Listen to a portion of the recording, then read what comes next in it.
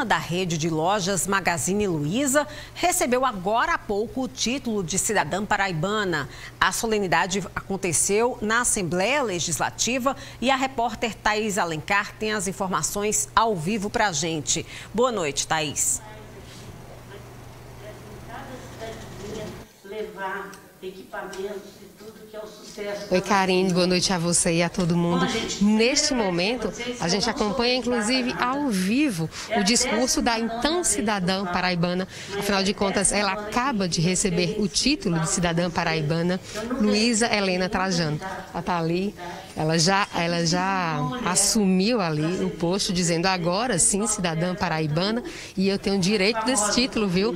Já chegou dizendo que tinha direito ao título, que tem muito orgulho em estar aqui na Paraíba. Falou, inclusive, que há 40 anos atrás já havia se apaixonado pela Paraíba, se emocionou, viu, Karina? A gente lembra aqui também quando chegou de fato a homenagem, ela se emocionou, ela que desembarcou, então, aqui na Paraíba, em Campina Grande, hoje pela manhã, na cidade de Campina Grande, recebeu também o título de cidadã campinense e aqui em João Pessoa, ela foi ao Palácio da Redenção, foi recebida pelo governador e também por apoiadores, toda a equipe de secretariado, então, do nosso governador aqui do estado da Paraíba e aqui na Assembleia. Ela conversou com a imprensa em entrevista coletiva, inclusive eu fiz uma pergunta a ela.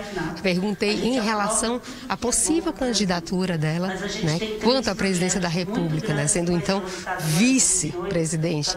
O que ela informou é que gosta de política, mas que não que não é candidata e nem pensa em ser candidata. Foram essas informações que ela trouxe e falou também em investimentos. E o Karine, a gente perguntou quais seriam os investimentos na Paraíba e ela falou que hoje em dia o maior investimento que se pode trazer para um local é geração de emprego e que sim, teremos gerações de emprego então em cidades pequenas, nas cidades do interior do nosso estado.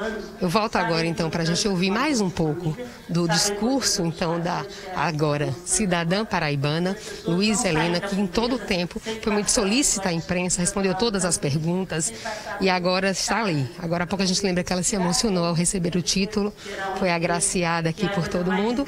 E agora a gente fica um pouco do discurso dela, Karine, e em seguida. Volto com você no estúdio trabalha não só para a mulher, mas trabalha educação, trabalha cultura. A Thaís Alencar que fala ao vivo da Assembleia Legislativa, onde a empresária, que é destaque em todo o país, recebeu o título de cidadã paraibana. Mais cedo ela esteve em Campina Grande, como a Thaís falou, também foi homenageada por lá e anunciou investimentos lá em Campina Grande. Então, é de fato uma mulher que é muito empoderada, que merece o reconhecimento e, claro, ser muito bem-vinda aqui no nosso estado.